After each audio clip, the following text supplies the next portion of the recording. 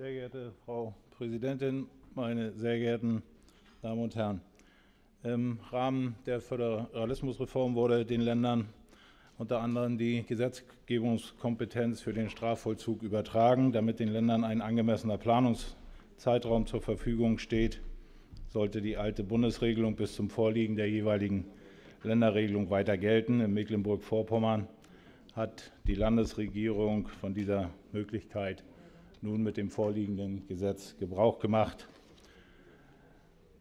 Dieser Gesetzentwurf wurde von mehreren Faktoren beeinflusst. Es ist bereits mehrmals angeklungen, dass das Bundesverfassungsgericht im Mai 2011 eine stärkere Therapiegewichtung im Strafvollzug eingefordert hat.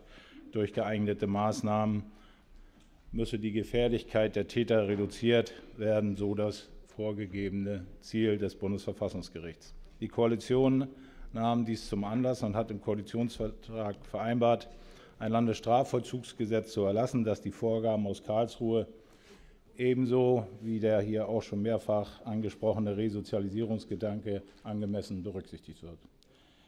Meine Damen und Herren, das Urteil des Bundesverfassungsgerichts hat sich in erster Linie auch schon angesprochen worden, ja, mit der Sicherungsverwahrung beschäftigt, aber doch unmissverständlich auch die Änderungen im Strafvollzug angemahnt.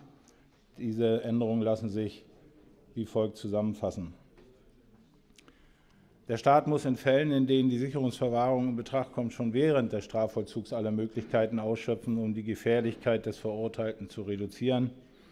Bereits während der Haft sollen dem Täter alle erforderlichen psychiatrischen, psycho- oder sozialtherapeutischen Therapien zukommen. Die Sicherungsverwahrung müsse logischerweise aus verfassungsrechtlicher Sicht stets das letzte Mittel sein und bleiben. Der vorliegende Gesetzentwurf orientiert sich an dem Musterentwurf einer Ländergruppe. Die beteiligten Bundesländer sind hier also auch schon mehrfach genannt worden. Das erspare ich mir dann jetzt. Im Rahmen der Sachverständigenanhörung wurde der vorliegende Gesetzentwurf grundsätzlich von allen Gutachtern begrüßt. An dieser Stelle auch, äh, möchte ich ebenfalls auf Herrn Professor Dünkel eingehen, der den Entwurf eine gelungene Umsetzung eines konsequenten Wiedereingliederungsprozesses ansah, das sowohl die soziale Integration des Verurteilten wie auch den Opferschutz, und meine Damen und Herren, da müssen wir insgesamt sehr viel Wert darauf legen und die Prävention zukünftiger Straftaten in gleicher Weise befördert. Es gab also nicht nur Kritik, sondern der Gesetzentwurf ist im Allgemeinen auch als gelungener Gesetzentwurf angesehen worden von Professor Dünkel. Das haben Sie verschwiegen, Frau Borchert. Der Schwerpunkt liegt also auf dem Schutz der Bevölkerung. Ich denke, das ist also auch immer wieder auch wichtig zu sagen, vor weiteren Straftaten. Und darauf kommt es uns insbesondere an, meine Damen und Herren. Kritik von den Sachverständigen ist geäußert worden. Das ist hier also auch schon angesprochen worden. Ich will darauf kurz eingehen. Die Gefangenen erhalten für Arbeit und die Teilnahme an Qualifizierungsmaßnahmen eine Vergütung. Auch hierauf ist Frau Drese beispielsweise auch umfänglich eingegangen, deren Höhe wurde in der Anhörung teilweise unter Hinweis auf einen Beschluss des Bundesverfassungsgerichtes aus dem Jahre 2002 kritisiert. Die Entscheidung des, äh, in der Entscheidung wurde ein Arbeitsentgelt in Höhe von 9 Prozent der sozialversicherungsrechtlichen Bezugsgröße als verfassungsgemäß bewertet. Da liegen wir also deutlich auseinander. Auch damals gab ein bereits ein zusätzliches ähm, Element der Arbeitsentlohnung, diese sogenannte und hier auch schon mehrfach erwähnte nicht monetäre Komponente. Ähm, durch die Teilnahme an Arbeit hat der Gefangene die Möglichkeit, seine Haftzeit zu verkürzen oder sonstige Hafterleichterungen zu erreichen. Diese Lösung wurde, Frau Drese hat es auch schon angesprochen, vom Bayerischen Verfassungsgerichtshof im Jahre 2010 bestätigt. Der vorliegende Gesetzentwurf folgt genau diesem Maßstab. Neben der Entlohnung in Geld wird den Gefangenen die Möglichkeit eingeräumt, Haftzeitverkürzungen zu erreichen, wenn sie, wie gesagt, an Arbeits- oder Therapiemaßnahmen regelmäßig mitwirken. In Bezug auf die vorgeschlagene Verbesserung der nicht monetären Entlohnung hat die Koalition die Kritik der Sachverständigen also aufgegriffen, aufgegriffen und äh, im Gesetzentwurf formuliert. Die Einzelheiten hat Frau Drese genannt, das erspare ich mir dann ebenfalls an dieser Stelle. Meine Damen und Herren, ein weiterer Kritikpunkt war die unterschiedliche Behandlung von Anwälten, Notaren, Verteidigern in Bezug auf die Kontrolle des Schriftverkehrs und der Besuche. Frau Borchert ist da eben ausführlich darauf eingegangen. Allerdings sehen wir das etwas anders, wie auch bei der bisherigen Bundesregelung ist im Gesetzentwurf tatsächlich keine Kontrolle der Verteidigerpost, ich betone der Verteidigerpost und der Besuche vorgesehen. Das hat seinen guten Grund. Der Schutz der Verteidigerpost dient dem verfassungsrechtlich geschützten Verteidigungsrecht der Gefangenen. Deshalb ist zu Recht jede Einsichtnahme in die Verteidigerunterlagen durch einen Dritten unzulässig. Bei den nicht als Verteidiger tätigen Anwälten und Notaren handelt es sich allerdings um eine gänzlich andere Interessenlage. Aus diesem Grund ist und bleibt diese Privilegierung übrigens wie in anderen Bundesländern auch ausschließlich den Verteidigern vorbehalten. Meine Damen und Herren, auch die Frage, ab wann einem zu lebenslänglicher Haft Verurteilten der Langzeitausgang gewährt werden kann, wurde im Vorfeld heftig diskutiert. Sicherlich dienen Vollzugslockerungen dem Resozialisierungsziel, es ist aber auch selbstverständlich, dass eine Vollzugslockerung nur dann in Frage kommt, wenn der Gefangene hierfür psychisch geeignet ist. Ich möchte aber ausdrücklich darauf hinweisen, dass neben dem Langzeitausgang, also einem Verlassen der Anstalt für mehrere Tage, denn davon reden wir hier, noch weitere der Resozialisierung dienende Vollzugslockerungen zur Verfügung stehen.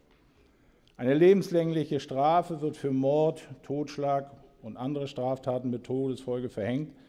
Also wir sprechen hier von Delikten mit, von erheblichem Gewicht.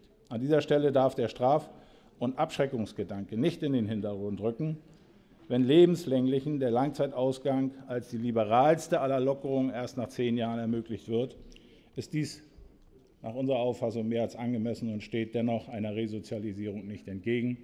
Frau Borchert sprach es an, da gebe ich ihr ausdrücklich recht. Insofern ist also ähm, immer eine Einzelentscheidung Voraussetzung.